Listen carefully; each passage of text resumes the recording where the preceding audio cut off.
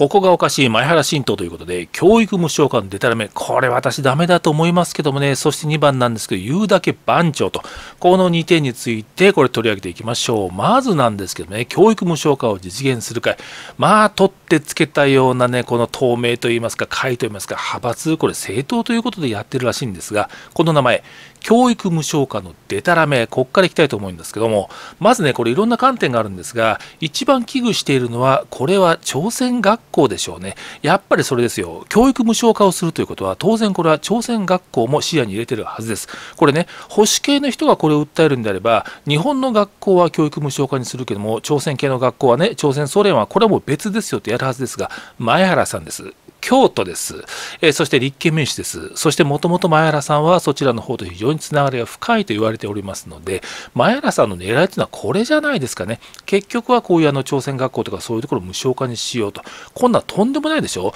よく考えてくださいよ、現状ではどうなっているか、補助金すらダメだって言ってるのに、前川さんね、前原さん、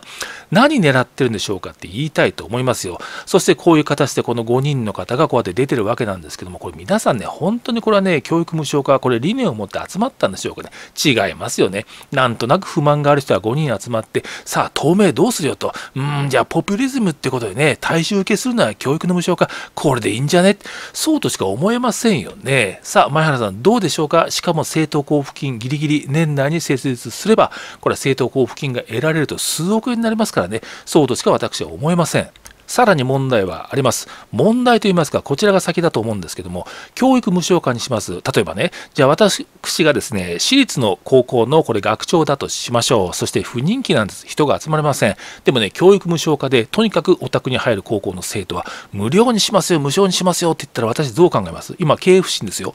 授業料を上げたらどうかって考えません？年間300万円だ、うちだってやったらどうなりますか？そこに対しても補助金が出るんですかね？となったら入った瞬間に300万円1人に当たりでついて入るってことになりませんか？もちろんこれはね、途中で規制をかけるとは思いますけども、当たり前なんですがそういうことを考えてきます。それでも不人気の学校というのは生徒が集まりませんね。そうすると、理事長であるので私はどう考えるか。学校の設備を充実して、カフェを作ったらね、食食事の質をフランス料理なんかにしてね、学生、生徒さんどうですか？うちは昼間に、えー、昼の昼食ね、フランス料理が出ますよ、しかも無料ですよ、なんて、そういう形で意味不明の学業以外のサービスの質を上げるでしょうね。そしてそこに対してお金をかけてさらに付加価値をつける。えそして利益もガーンと取ってうちは1人当たり300万円年間かかるんですと。これどうするんですか前原さん。こういう学校が出てきた場合にはこれに対してもガンガンガンガンお金を払うんでしょうかと。これ一つ考えてもおかしいですよね。さあそしてもう一つねこの教育無償化のデタラメがあるんですけどもまずは F ランクの大学をなくしてください。つまりね、今の話とこれは似ていますけども、結局はレベルの低い大学、今の話だと大学も全て無償化ってことになってくるはずでしょ？となるとね、えフランク、まあレベルの低い大学ですよ。これは補助金、ね、学費を出すんじゃなくて、まずはなくすことから考えてください。だって大学に入った瞬間、最初の授業が筆記体を書くこと、分数の計算、で分数ができるね、えー、このほら、あの塩分といいますか、あるでしょ？う。塩水のね、えー、この中には塩が何グラム入ってるでしょうかとかね、この濃度は何パーセントでしょうかと、えー、あれ中学校、小学校ぐらいでやりましたよね。そういう濃度の計算をやって、あ、できましたね、15%です。拍手なんてことを大学1年生でやるんですか。そんなのが現実にあるわけでしょう。そこに補助金を投入する、全額負担する、そして、えー、こう非常に無能な大学生を量産していく、これは意味がないと思いますよ。いかがでしょうかね。さあ、購入の5人の皆さんにはそういうことを問いたいですね。はい、斎藤アレックスさん、私誰か知りませんけども、この方も、うーん、どうなんでしょうかね。思いがあってやったんでしょうかね。私はそうと思えないんですけども、その辺がこの百田さんの日本保守党とは全く違います。完全にポピュリズムでやってるのが今回、これはね、とっさに思いついた内容だと思いますけどもね、まあ、そういえば、百田さんもとっさに思いついたって言いましたよね。いや、政党を作ったろって、俺は思わず言ってしまったとか言ってますけども、それまでね、こう、蓄積したものが違うでしょ。ずっと我慢に我慢に重ねて、そして出しました。しかもね、保守党というのは、この反日に対してね、外国から日本を守ろうという非常にそういう崇高で幅の広い、これはことを目標にしてますので、この前原さんとは全然内容が違うんですよね。さあ、そして2番目、言うだけ番長。これネットで盛んに今出てますよね。この前原さんどうしても言うだけ番長と言いますか、あ小池さんとね、小池新党ですよね。小池力さんの新党と合流しようとか、どうしようとかいろいろ言うんですけども、ダメと。そして古くはこの民主党時代にもいろいろありましたよね。この、やっぱりこう一番大きいのはこの国土交通大臣だったもんですから、これです。